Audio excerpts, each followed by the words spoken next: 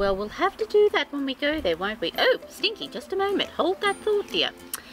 Hello, my little poppets. Oh, story time comes around so quickly.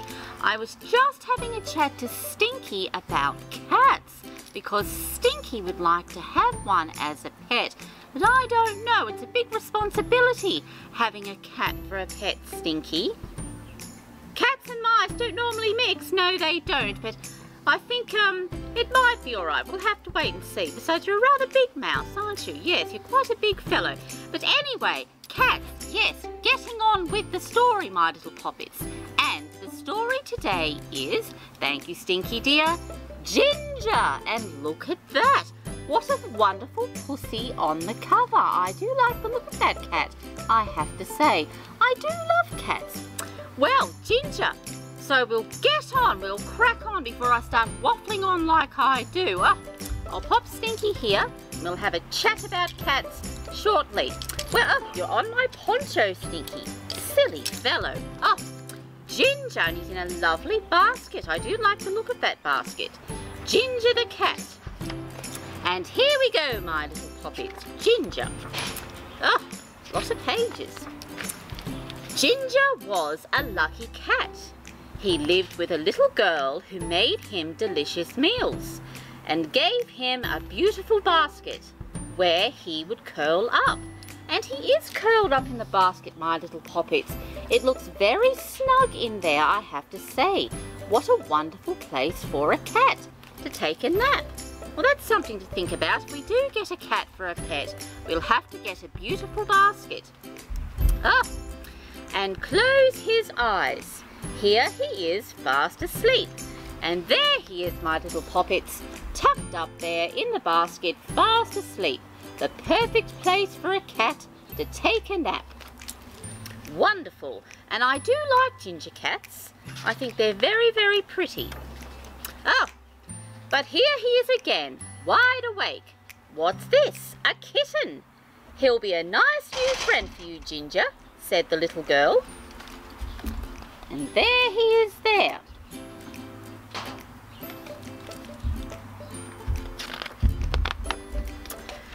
But Ginger didn't want a new friend, especially one like this. Ginger hoped the kitten would go away, but he didn't. Everywhere Ginger went, the kitten followed, springing out from behind doors, leaping onto Ginger's back. Oh, poor Ginger! Oh, he doesn't look like he's getting any peace with that kitten. Oh, he's being hounded. Even eating Ginger's food. What a naughty kitten. Oh, poor Ginger. It looks like he's going to miss out on his supper. But then again, I suppose it is good to share, isn't it? We'll have to wait and see. Oh, he looks frightful on this page. But what upset Ginger more than anything was that whenever he got into his beautiful basket, the kitten always climbed in too, and the little girl didn't do anything about it. Oh, well that's what's made him most unhappy, I think. He expects that the little girl should do something about it, and she hasn't. There they are there. Got a frightful expression on his face. He's not happy. So Ginger decided to leave home. Oh dear, he went out through the cat flap and he didn't come back. The kitten waited for a bit, then he got into Ginger's basket. It wasn't the same without Ginger. No, well, I don't suppose it would. Oh dear, he's leaving home. Well, that's sad. Poor, poor Ginger. The kitten played with some flowers. Then he found somewhere to sharpen his claws. Oh, my lord! Is ruining that beautiful chair. And cats do like to do that, I'm afraid. They do like to use chairs to sharpen their claws. Oh, not a good place. He needs a scratch post, I think. The little girl found him on the table, drinking some milk. You naughty kitten, she said. I thought you were with Ginger. Where is he anyway? She looked in Ginger's basket. But of course, he wasn't there. No, well, he's run away, hasn't he? He's not there. Dear, dear, dear. Oh, perhaps he's eating his food, she said. But Ginger wasn't there either. I hope he's not upset, she said. I hope he hasn't run away. Well, I think he has run away, my little poppets. Oh dear, what is she going to do? Ah! She put on her Wellingtons, which are gumboots, and went into the garden, and that is where she found him. A very wet, sad, cold Ginger, hiding under a bush. And there he is, my little poppets, under a bush. There he is there. Ah! He needs to come back inside and sit by the fire where it's nice and warm. The little girl carried Ginger and the kitten inside. It's a pity you can't be friends, she said. She gave Ginger a special meal. She gave the kitten a little plate of his own. Well, I think that's more like it. I think they need to have their own space. A plate of their own, I think. Which is fair enough because everyone needs a bit of space sometimes. Then she tucked Ginger into his own warm basket. All she could find for the kitten to sleep in was a little tiny cardboard box. But the kitten didn't mind because cats love cardboard boxes, however small they are. Well, that's true, they do like to get in boxes. I do believe we read a story about a cat that liked to hide in boxes. Yes, a few stories ago. So when the little girl went in to see the two cats again, and there she is, little girl there. What a lovely sweet little dress she's got on there. This is how she found them. And now Ginger and the naughty kitten get along very well. Ah, silly pussies! They're jammed in the box together, silly cats. And there they are there. Ah, well perhaps they're friends after all. Silly, silly cats. Most of the time. Oh, and look, my little poppets. There's Ginger and the kitten's pulling on his tail. Oh, they are funny, funny creatures, aren't they? The end. Well, that was called Ginger. And there's Ginger there on the cover. Well, it's a double up. We've got another story about a cat, and this one is called, I do believe, I thought, why not have two? I'm in a cat sort of mood, so we'll have a Cat Lady. Oh, that's a scary thought. Mrs. Wiffle Waffle a cat lady. Matilda's cat, this one's called. Matilda's cat. This one looks very interesting. I like the cover. Matilda's cat. And here we go, my little poppets. Story number two. I can just turn the page. My fingers don't work sometimes.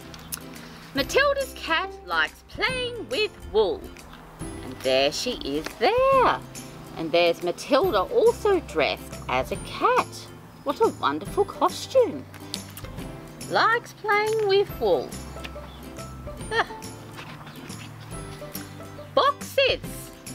There's Matilda in her cat suit peeking over a box. I'm not so sure about this puss though. We'll have to wait and see. And riding bikes. Well, that puss doesn't look like he's too fond of riding bikes to me. I don't know. Ugh, the things cats get up to. Matilda's cat likes tea parties. And there they are, my little poppets, having a wonderful tea party there. Matilda in her cat suit. Oh, pouring the tea. And it does look like a wonderful tea party, I have to say. Oh, and funky hats. Nothing like a funky hat. There's a cat there in a wonderful hat. Oh, I do believe that's Matilda. It's hard to see. She's got her face covered up. Matilda's cat likes drawing. Oh, and the two of them, look at them, thick as thieves, drawing away there, having a wonderful time. I don't think there's anything that cats can't do. Climbing trees. Well, I know they like to climb trees, my little poppets. And there's Matilda in the tree there. Wonderful to climb a tree. I must climb another tree again shortly. I haven't done it in a while. Stinky and I'll have to climb a tree and bedtime stories. And there's Matilda with a lovely book there, having a bedtime story. Simply marvellous. Matilda's cat does not like playing with wool, boxes, riding bikes, tea parties, funky hats, fighting foes, drawing, climbing trees, or bedtime stories. And there they are there, my little poppets. Oh, so the cat doesn't like those things after all. Matilda's cat likes. And there's Matilda's cat there. I wonder what Matilda's cat likes.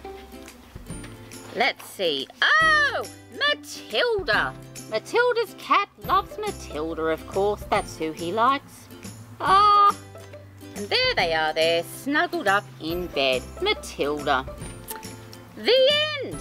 Ah, and there's a final page there of Puss with a pair of slippers, I think it is.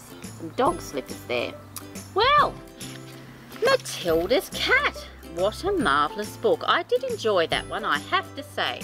Matilda's Cat. One last look there at the cover. Well, I think we should have a chat to Stinky, of course. We always do after story time.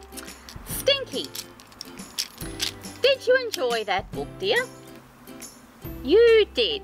Well, that's wonderful. I certainly enjoyed it. And I think, my little poppets, we're really going to have to think about having a cat. I don't know whether it'll be suitable having a cat with Stinky, even though he does like cats.